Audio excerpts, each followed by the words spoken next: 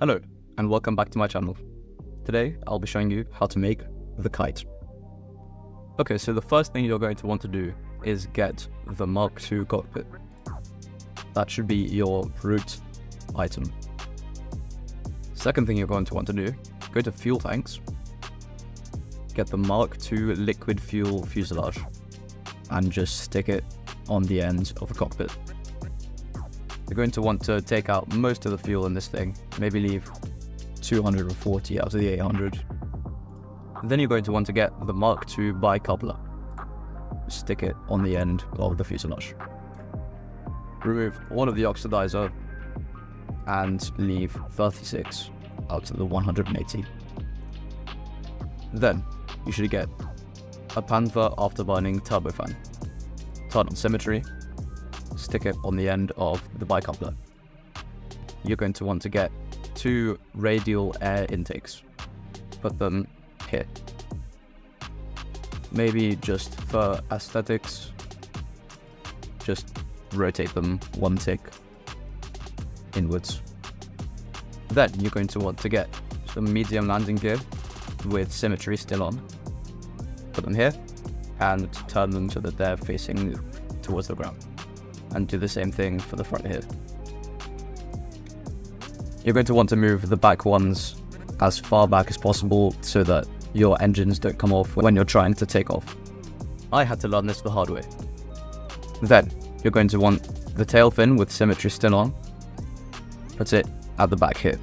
Set it to pitch, and you can keep the authority load to how it is. Then you want another tail fin without symmetry on. Just put it here as a rudder with it set to yaw.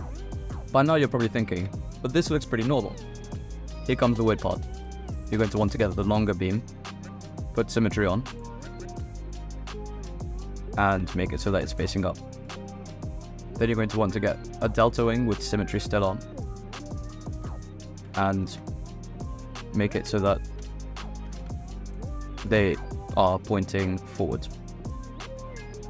Bring them back a bit, and bring them together so that they're touching.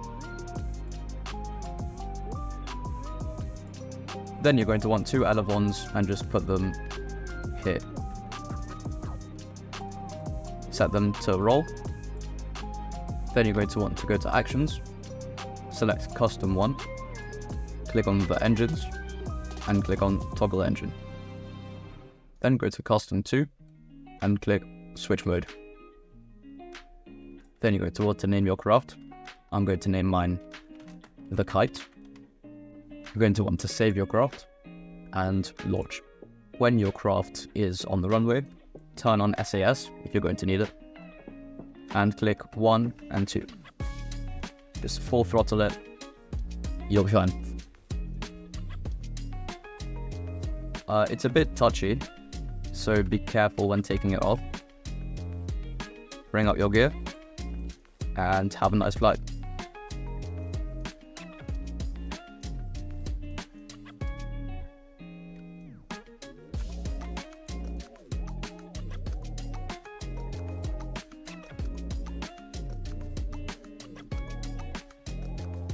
I assure you, it is landable. It just takes a bit of skill and practice.